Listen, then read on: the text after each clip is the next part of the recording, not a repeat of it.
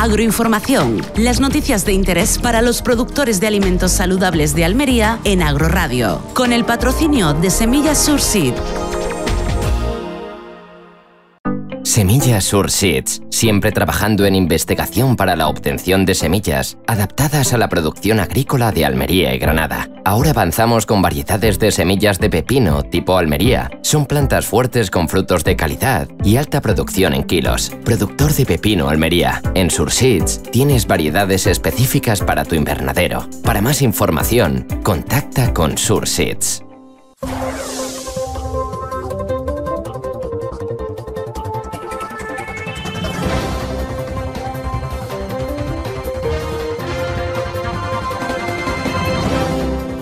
Buenas y bienvenidos a Agro Radio, donde le damos la mejor información agrícola. Soy José Antonio Mañas. Ahora, en Agroinformación, hablamos de una reunión del sector caprino y para eso hablamos con Francisco García, presidente de Cabra de Andalucía. Buenos días, Francisco. Muy buenos días. Bueno, Francisco, ¿nos puedes comentar un poco sobre qué está pasando ahora mismo con los precios de la leche?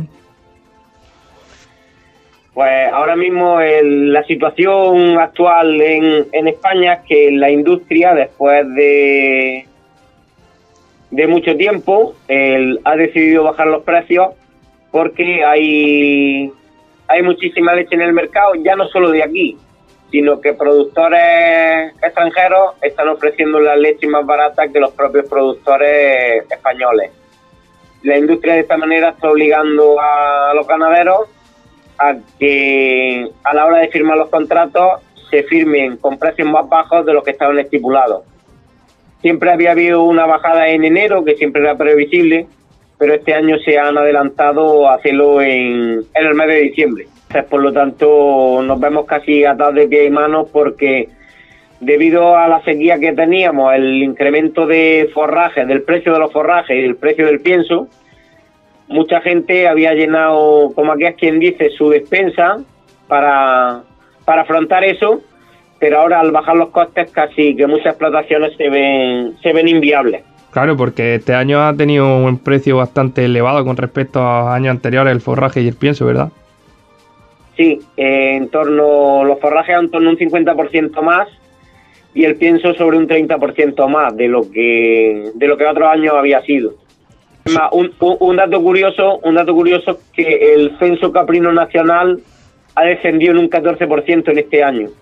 Eso quiere decir que el año pasado desaparecieron 600 ganaderos en el territorio nacional, que viene a ser más de un ganadero por día, que se está viendo que esto no tiene no tiene parada, cada día siguen abandonando más, algunos por jubilación eh, y no tienen relevo generacional y otros porque no pueden aguantar lo que se les viene encima los costes de producción son mayores que la, que la renta que reciben por, por ello. Claro, aumenta el precio de la comida, aumenta los precios de costes y el precio de, del producto final baja. Entonces, pues, ahí, ahí falla algo. ¿no? Y, y, bueno, el precio del cabrito, ¿qué, está pasando con estas navidades?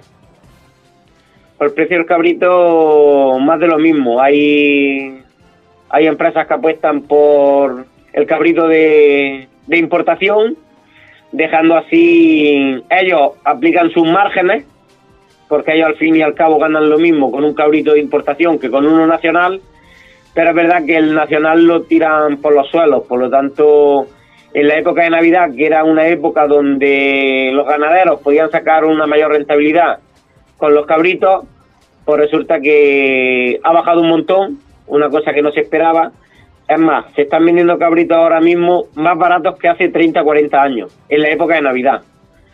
La vida ha subido mucho el IPC para todo el mundo, pero al fin y al cabo para los ganaderos cada vez están teniendo menor poder adquisitivo, debido a que todo el mundo presiona, todo el mundo aplica sus márgenes, pero a los ganaderos no le dan la oportunidad de poder aplicar un margen digno para poder vivir.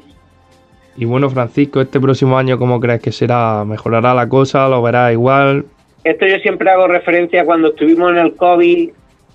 El sector primario era lo más importante porque si no, no llenábamos las despensas, tanto agricultores como ganaderos no llenábamos las despensas, el mundo se vería desabastecido pero una vez pasado la gente se le olvida quién estuvo al pie del cañón para mantener el país arriba y que no faltara nada de alimentos.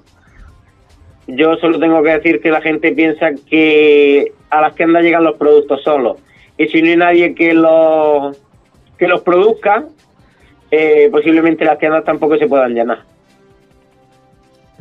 Eso es, así, si no hay, si el sector primario no, no produce, la gente, las ciudades no comen, ¿no? Como es una frase que se suele decir bastante. Efectivamente, y el, sector primario, eh, si la gente del sector primario no le es rentable, se abandonará el sector primario. El problema es cuando no haya sector primario, eh, ¿de qué vamos a comer?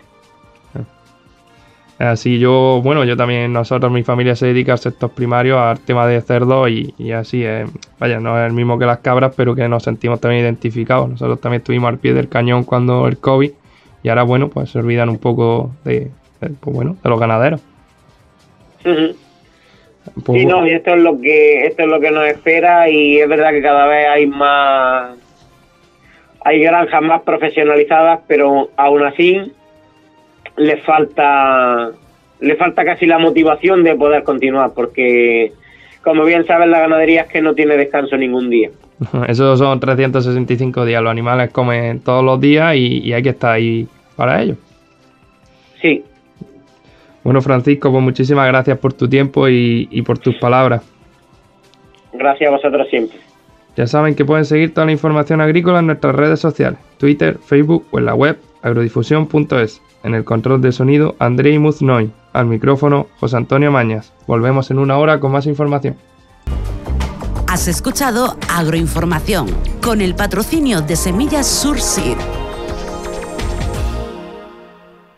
Semillas Sur Seeds, siempre trabajando en investigación para la obtención de semillas adaptadas a la producción agrícola de Almería y Granada. Ahora avanzamos con variedades de semillas de pepino tipo Almería. Son plantas fuertes con frutos de calidad y alta producción en kilos. Productor de pepino Almería. En Sur Seeds tienes variedades específicas para tu invernadero. Para más información, contacta con Sur Seeds.